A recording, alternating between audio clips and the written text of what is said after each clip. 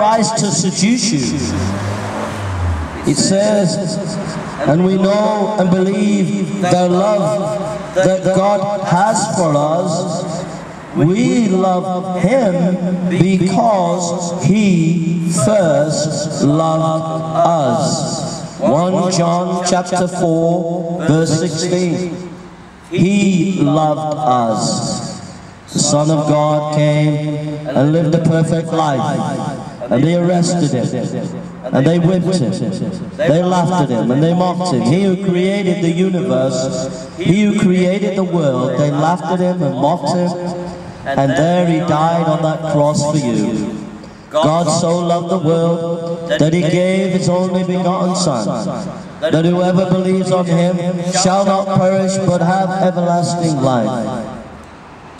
That love was shed for you at the cross. That love was